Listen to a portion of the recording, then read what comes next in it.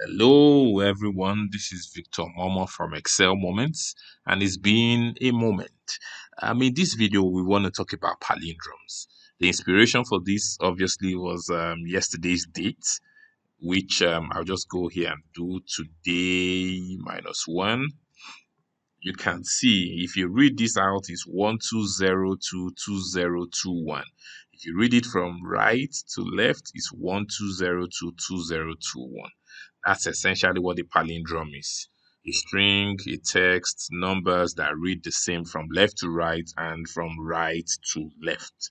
Okay, so direction doesn't matter. Some people can take it further and talk about palindromic sentences, you know, where you have multiple words and all that. But uh, for this, we're just going to stick, you know, to, um, I would say words, which is just a text, a string without having multiple uh, words in the expression. So what we just want to do is come up with a formula that can tell us, oh, this is a palindrome, this is not a palindrome. That's really what it is. Um, first of all, I think I should just explain, well, the concept, what the formula is going to look like is pretty easy. Essentially, if I take madam, for example, I just need to have an expression that can extract for me each of the characters in there from right to left. I have another expression that I can extract it from you know, uh, left to right and from right to left. Then I compare both of them. Oh, is this first character the fifth character? Is the second character the fourth character? You know, and so on. And I will get, of course, true, false, true, false, true, false.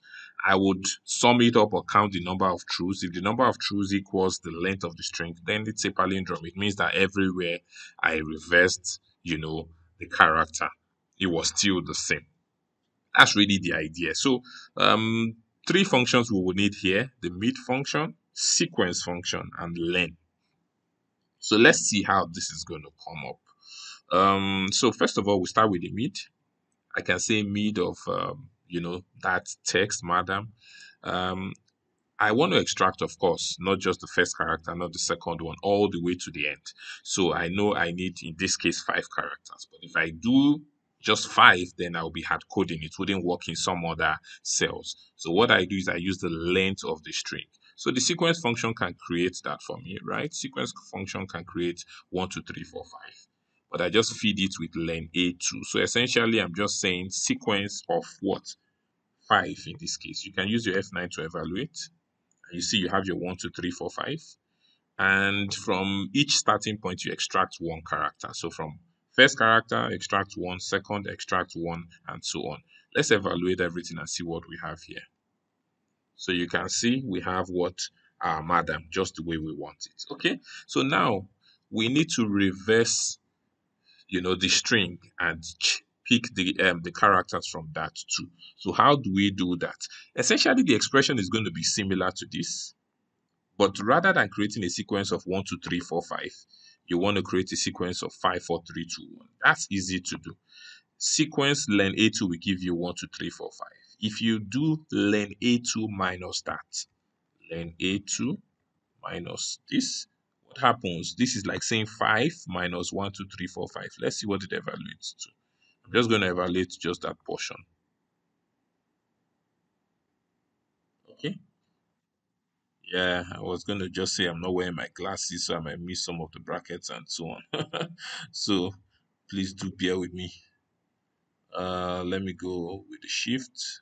Okay, so so you can see when you subtract everything from 5, you have 4, 3, 2, 1, 0, which is close to what you need. By the time you add 1 there, you have your 5, 4, 3, 2, 1. So you just need to add a 1 here. Okay, and you've created the reverse sequence. Now, let's use F9 to check what this whole thing ex evaluates to. And you can see it's reversed. Why? Because the uppercase M is now at the end, whereas here it was at the beginning. Okay, so now it's just going to compare both of them and say, okay, is this is this character the same as the last character, and so on. So let's see what this evaluates to. Hmm? So you can see true, true, true, true, true. So what I need to do now is to sum this all up and check if it's equal to the length of what the string. So I would say here sum, but of course, if I just sum true falses, that would fail because it expects numbers. So I can just do something like one times. So whatever I have in this um, evaluation here, it multiplies it by one. So the trues become one, the false becomes zero, and I sum it all up. Okay, you might want to see what one times does here. I like to use F9 a lot because it kind of makes me really see what's going on. Okay. So you can see that all those truths have become one, one, one, one. So by the time you add them together, that will tell you, of course, the number of times, you know, it's true. And then you compare this with the length of the string. If it's equal to the length of the string, then it's obviously a palindrome, right? Because if it's true everywhere, then it's fine. So this is saying it's true, then you double click to come down. And you can see that this date, which was yesterday's date, is obviously true. Hannah is true. Uh, thread is false, obviously.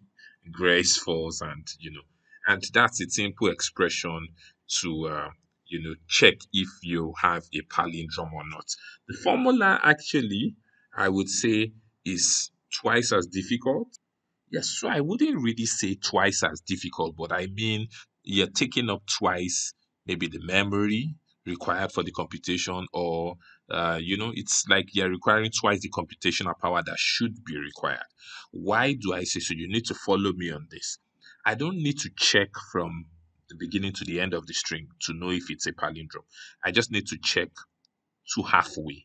If it's fine halfway midway in the string then it's fine because it's really pretty much just repeating itself. Let's look at Hannah, for example. You have six characters, three, four, five, six. Okay. And I just go here, one, two, three, four, five, six. When I check, okay, I think I did some formatting there, Control Shift Tilde. When I check if character 1 equals to character 6, character 2 equals to 5, 3 equals to 4, at this point, pretty much I've covered the entire string, right? Every other thing on this side is just mirroring what I have already because you have 4 and 3, which is already taking care of 3 and 4, 5 and 2, which is 2 and 5, 6 and 1, which is 1 and 6. It's pretty much the same thing. If all this is true, you know, then you're done. It takes a while to get the, this logic, but that's really what it is. So I don't need to check 100 characters if it's a string of 100. I just need to check 50 okay? Because more like saying a mirror image of itself. So if i split 100 into 50 50 50 those 50 mirror themselves then you know it's pretty much fine. So that's actually the more correct way to do it.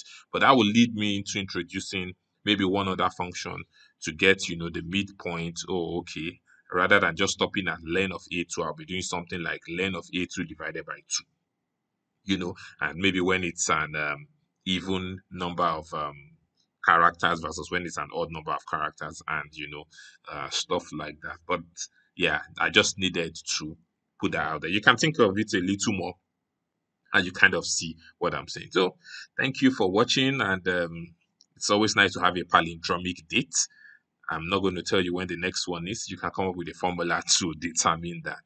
So if you like this video hit the like button you can also subscribe to the channel Excel Moments.